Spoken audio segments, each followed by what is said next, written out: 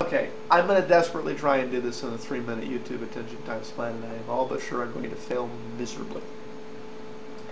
But a critique that has been made on the video starting the series about why gold and silver is a scam and why you know it's not really a good buy opportunity right now and everything else. It's like, if basically they're talking about when the fiat currency collapses and when your dollar's worth pennies on the dollar and when all this shit happens, you know, gold and silver is going to balloon in buying power. They're making a mistake. They are confusing an increase in price with an increase in buying power. Okay? Point blank. Okay? It just, they are.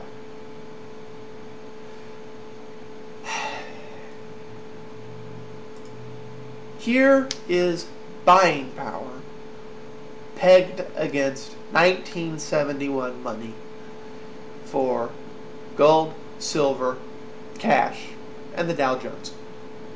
This is pegged against 1971 money when we ended the gold standard.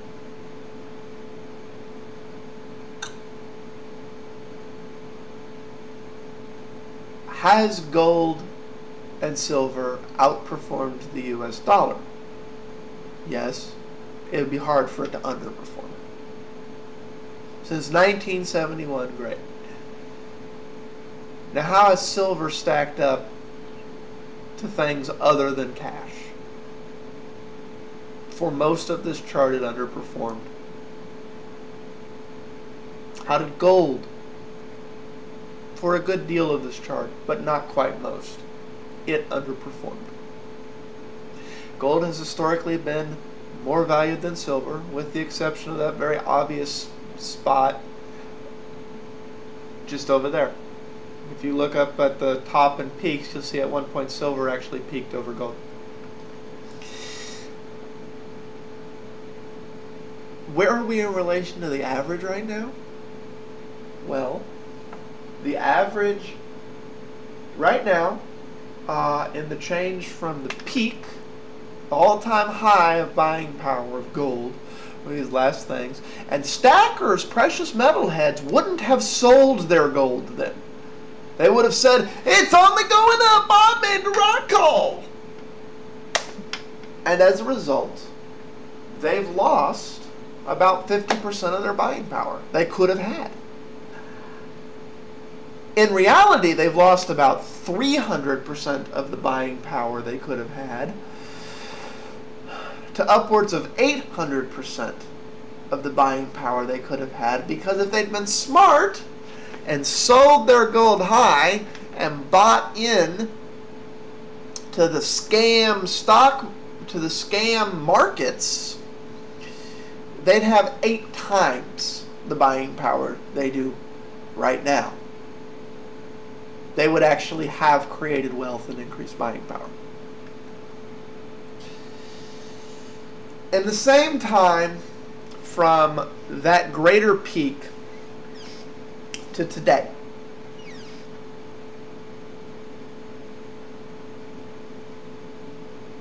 the price of gold has increased 200%. It's, it, it costs twice as much to buy an ounce of gold as it did then. The buying power of gold from the peak on that chart to today has decreased 30%. You can only buy 70 cents on the dollar worth of goods you could back then. The price doubled and you can buy less. Don't confuse price with buying power. They are not the same thing at all. Double your money, cut your buying power by almost a third. Silver's pretty much the same story, okay? Silver is actually a weirder story because from the peak on that chart to now, silver is 90 cents on the dollar.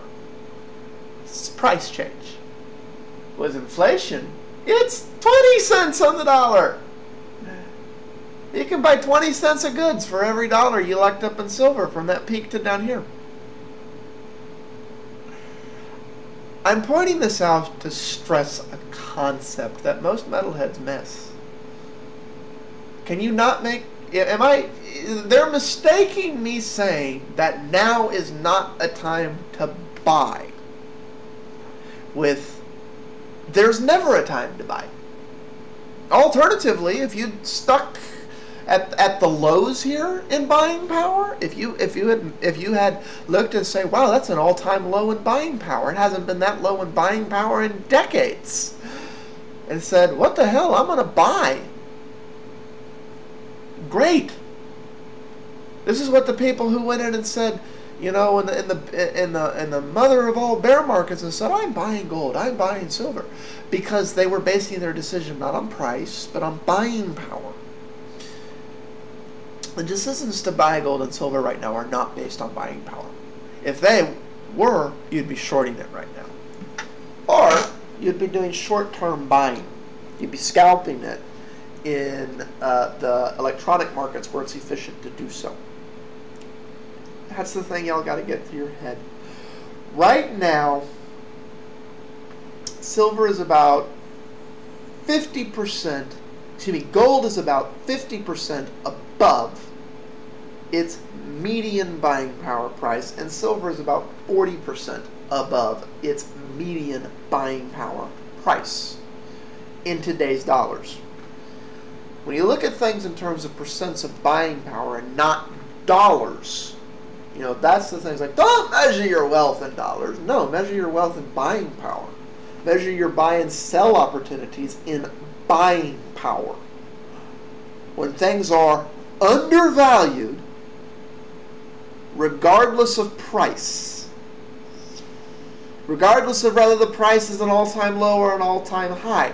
When they're undervalued in terms of buying power in terms of price.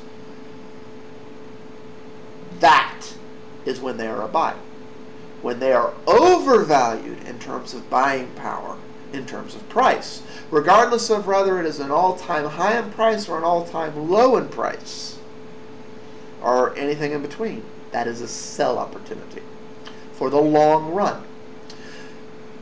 This is the thing you metalheads need to get through your head because you say you're buying for the day 20, 30 years from today when everything goes in. Well, on that day, the ultimate equilibrium point is going to be buying power, median buying power. You're still overbuying. The price may shoot through the roof.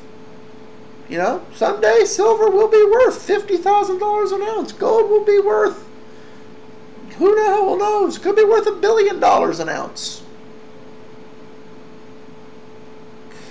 But is that an increase in buying power? Will that future day where an ounce of silver will buy oh, let's just use a, a, reasonable number you might see in your lifetime. That future day when an ounce of silver will buy a hundred dollar bill. Will a hundred dollars buy the same as the twenty to twenty-five dollars you're locking up in it today? That's the way you need to look at it. And you may not be buying dollars. Who knows what the hell you'll be translating and who knows what we'll be using for money in the future. But if you're measuring things in buying power, which is what we're trying to drive home with this little series of videos and things, you don't care what the money is, you don't care what people value, you don't care everything else, because your cumulative buying power is more than whatever you traded to acquire it that's a beneficial transaction. And that's the transaction you need to focus on making people. Um, Alex, because I've already almost used 10 minutes, I'm going to explain my changes to the um, experiment chart in the next vid. What I would like to hear from people is, are the colors now readable? Because they said they couldn't read the colors. They had a hard time reading out the chart. I've, I've changed some things to do that. Uh, and, you know, we'll, we'll hope we get that. So, uh, I, I, like I said, we'll get the inflation numbers next week. We will finish adjusting this chart accordingly based on that, and continue to make our projections and explaining where our logic's at and everything accordingly. Um, metalheads are gonna hate these videos, but I, I'm not trying to please the metalheads. I'm not trying to. If you'll notice, almost every metalhead is in the gold and silver selling business. They're, try, they're trying to sell you gold and silver, and they're trying to convince you why gold and silver is a good buy. Imagine that a salesman telling you their product is a good buy. I wonder why. Might it be they want you to buy it? Could be. Don't know. Peace out, I'll see you next week.